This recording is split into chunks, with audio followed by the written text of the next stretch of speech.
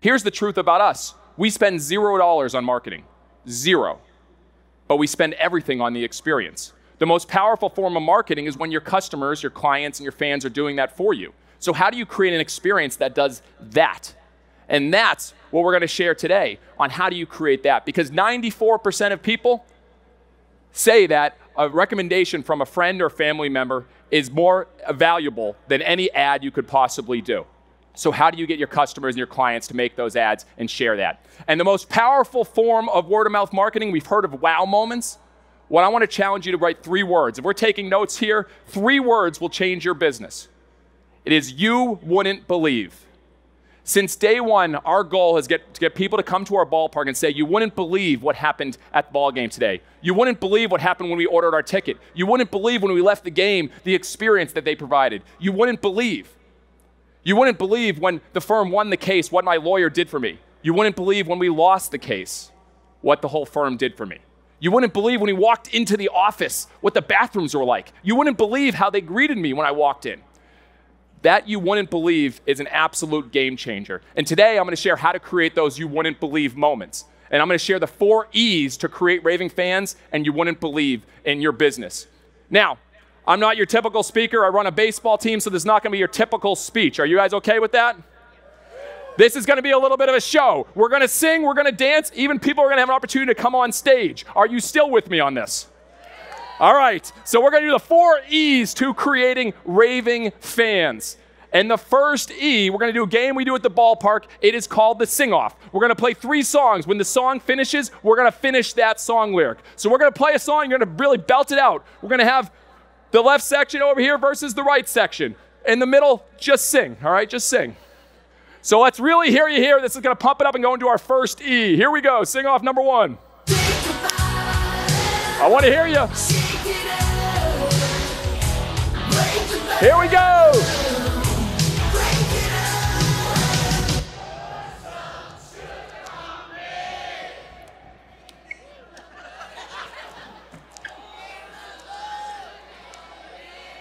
Yes, we are definitely lawyers here. I will give this section with the win. Next song, here we go. Let's get into it. Here we go.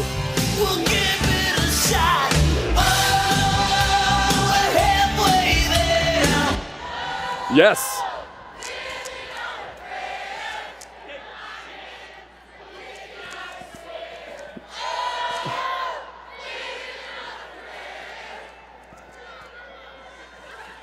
You over there wanted for that whole section. We are tied 1 1. Remember, the points do not matter at all. Next song.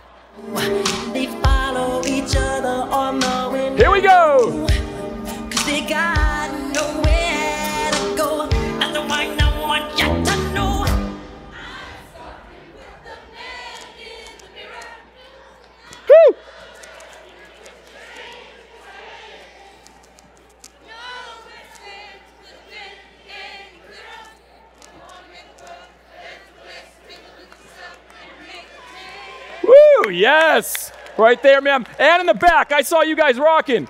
All right, note to self, that was weird. All right. Mirror moment. How we get to the first E of creating raving fans. Thank you for all that. The first E is eliminate friction. Eliminate friction. And how to get there is to have a mirror moment. So often we are focused on our competitors. We're focused on everyone everyone else is doing. What I challenge you is to take a look at yourself and put yourself in the customer's shoes and figure out what you can do to change the experience. And it starts by eliminating the friction. So when you look at a typical experience in a law firm, what are all the friction points? What are all the frustration points? Not from your point of view, but what from the customer's point of view. In baseball, it was very easy for us. When I first started 10 years ago, I heard this from everybody that baseball was too long, slow, and boring. And I apologize for the baseball fans here, but that's what we heard over and over again. So that was a giant friction point with the industry. So we said, we got to eliminate that. And so we said, we're not in the baseball business, we need to be in the entertainment business. And I challenge all of you to ask that question what business are you in, but what business are you really in? When we knew we were in the entertainment business, we went all in on dancing players, more promotions, more fun, grandma beauty pageants, and some stuff didn't work at all. Flatulence fun night, An absolute disaster. We thought giving away whoopee cushions and having a bean burrito in contest would be a lot of fun. Nobody showed up. Or salute to underwear night. We thought literally giving out underwear and having anyone who wore their underwear over their pants got a free ticket. It was the most unfamily friendly night we've ever done. But people started saying you're about entertainment, you're not about baseball. So we started drawing a different crowd. Who are you for, but who are you not for? We are not for baseball traditionalists. We are for people that want to have fun. So that was the big friction point. We went to attack that. Then the next one, we said, hmm, what's another big friction point? Coming to a ballpark, you may get nickel and dimed. You pay your ticket fees, your convenient fees, which are the most inconvenient fee I've ever heard of. Then you pay your parking fees. Then you pay for your ticket, your burger, your hot dogs, everything else. And all of a sudden, at the end of the night, you're, you're out of money. So we said, let's eliminate that. So for the bananas, there's no ticket fees, there's no convenient fees. When you come to Savannah, your ticket includes all your burgers, hot dogs, chicken sandwiches, soda, water, popcorn, dessert, everything for $25 total. We said eliminate the friction. Nickel and dimed in the legal industry, all right? We know many people, you get charged by the minute. I'm afraid to call my lawyer sometime because I know it's five minutes and I can just try to figure it out myself. That's not a good way to go about business from a customer point of view. Could you have an all inclusive experience? Could you look at it differently? So we kept going down all these friction points. The bananas games, we eliminated all of our ads, which is crazy. One of the worst business models we could have ever done right before the pandemic. Two weeks before the pandemic, we eliminated every single ad from our ballpark. Why would we do that?